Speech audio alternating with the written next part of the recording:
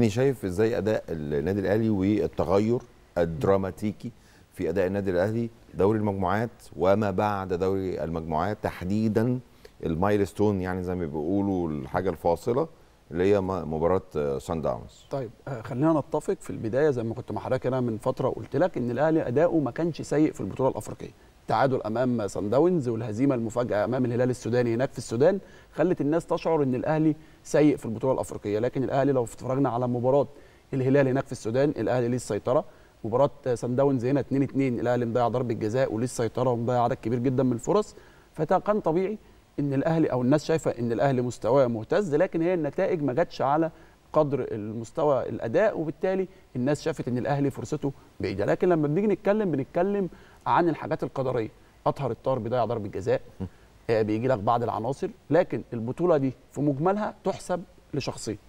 آه، إدارة النادي الأهلي اللي اتعلمت الدرس جيدا من الموسم الماضي حتى في تصريحاتها قبل المباراة النهائية. بمعنى يعني إيه تعليم الدرس؟ بمعنى الموسم الماضي الأهلي أمام الوداد المغربي في نهائي أفريقيا الأهلي ما خسرش كرة فقط.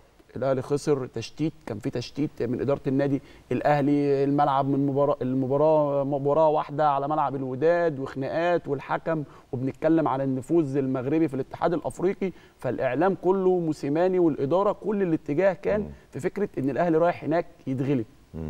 المرة دي الأهلي عمل إيه؟ ركز قفل على نفسه محدش يتكلم على التحكيم محدش يتكلم على النفوذ المغربي محدش يتكلم عن أي حاجة محدش يتكلم على الأجواء الجماهيرية هناك. كل الكلام كان على فكرة إحنا نقدر. إحنا نروح هناك إحنا الأهلي. إحنا نجيب أي بطولة من أي مكان في الدنيا.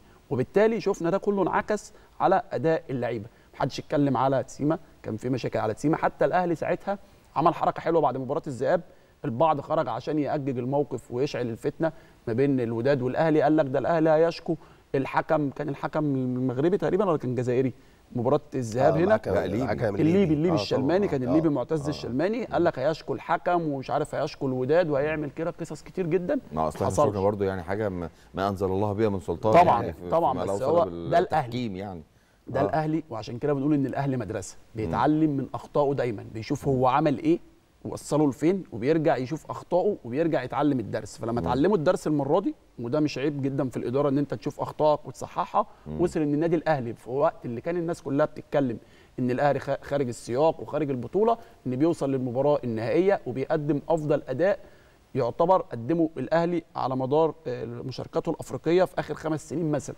لكن المباراة امبارح ما كانتش بالمستوى المطلوب وهكذا المباريات النهائية مش لازم يكون مطلوب منك المستوى لكن مطلوب منك هي تكسب ولا. تلعب يعني آه مطلوب منك تلعب. التركيز والهدوء وده حصل في الشوط الثاني لما دفع كولر بالناس اللي هي عندها خبرات الهدوء السولية وقفشة بعكس طبعا شفنا كان في تنشنه وعصبية على أداء حمدي فتحي وحسين الشحات في الشوط الأول لكن بشكل عام الأهلي يستحق الأهلي سابق بكتير جدا عن أقرب منافسيه سواء اداريا أو عدد البطولات على مستوى الإنجازات على مستوى الفروع بتتكلم الأهلي مدرسة إدارية ومش بنقول كده مجاملة للنادي الأهلي ولا مجلس إدارته بنقول كده الواقع هو اللي. بيقول بالظبط، الأرقام. هي اللي بتقول كده